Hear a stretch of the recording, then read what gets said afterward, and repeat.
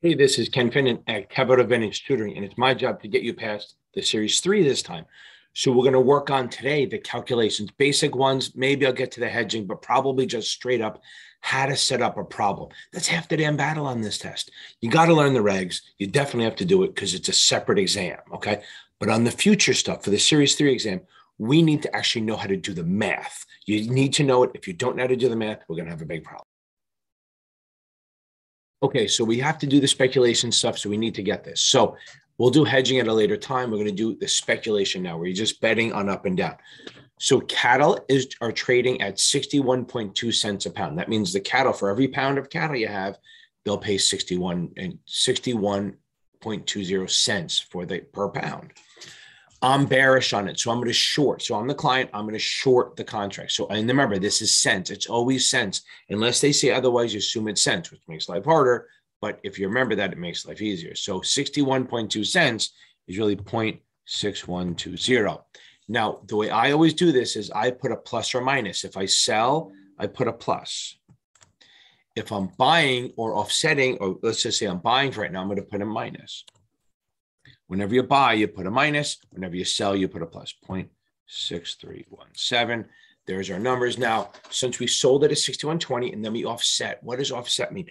Offset means liquidate. They, they don't use the word close so much, they use the word offset.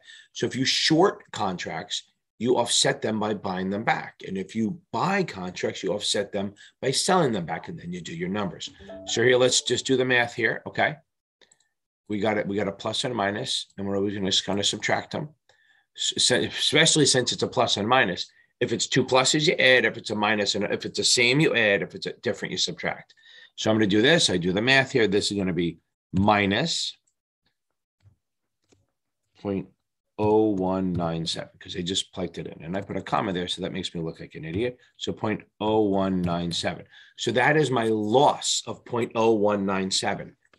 Now, what we do is we're going to do 0.0197 times the number of contract size, so 40,000. So that's going to be $788 loss. Remember, because it's a negative.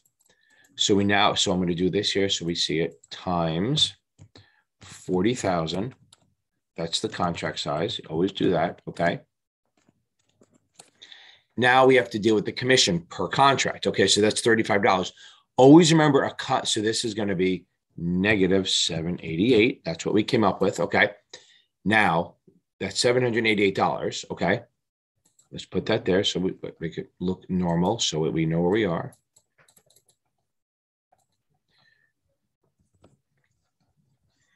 Now we also paid $35 per contract. So we're going to remember commissions are always a negative. So if we have a negative and two negatives, we're going to add. So we're going to add 788 plus 35. So we have an $823 loss per contract. Okay. Since it's a negative, we know that's a loss. So boom, we'll put a loss here. Okay. So that's why I do this. So let's go through this again so we have it. I sold for 6120. That means I have a plus. I bought it back for 63.17, so I paid more back. I have a negative here, a plus for sale, minus for buy. I subtract them, I get 0.01 and 7. The easiest way to do is find the biggest number and whatever symbol that is using, you bring that down. So since the minus is the bigger number, we now know we have a loss. You can do it the other way. You can actually know gain or loss, but this is a good way in case you forget. Now you're going to multiply that times the contract size. There you go. And that gives you and it stays a negative, negative 788. Then remember, commissions are always per contract and they're round turns. They could say total and then you do it after this, but we'll get to that. Um, now there's your $35 commissions. Since commissions are always a minus because you're always paying them, they're always a minus. In this case, you would add. So this would be 788 plus 35 is equals 823. But we're not done because we did it five times. So now we have to multiply. This is all easy once you get it times five contracts. 823 times 5 equals 4115. So this would be a loss of $4,115. And that should be the math on this. We'll do one more just to make sure we're go. Okay. Okay. Here's our situation. The customer expects the price of gas to rise. They go long 12 December gas futures at 85 cents. So they can write 85 cents or they can say dollar with the decimal. Always very literal what they do per gallon. So it's 85 cents per gallon. Gas futures rise because he was right. They went up to 92 cents a gallon. The contract size is 42,000. The round turn commissions is 45. Remember, the commissions are round turn. You pay all the commissions in one shot, not per trade. And then you offset the position at the market price. So offset means get rid of, right? Okay, so let's start this. So first of all, the customer buys them at 12, so that's a negative. Buys 12 of them at 85 cents. Boom, that's our 85 cents. Then they rise to 92 and he offsets them. So boom, there's your 92. Now see how I did it. If you buy it's a negative, if you sell it's a plus, get it in your head. That helps you much, much, much more later. I was going to say some really bad grammar. So now once we do that, we do the math since it's a plus and a minus to subtract. So we have a seven cent difference. Now we always bring the bigger symbol down. So boom, that's a plus. So that means it's a positive seven cents. They have to give you the contract size. So there it is. We're going to multiply that times 42,000, the contract size. And that gives us a profit of 29.40, seven cents times 42,000. But we're not done. We also pay a commission. Remember, commission is always a minus. So we have a plus and a minus. We're going to subtract.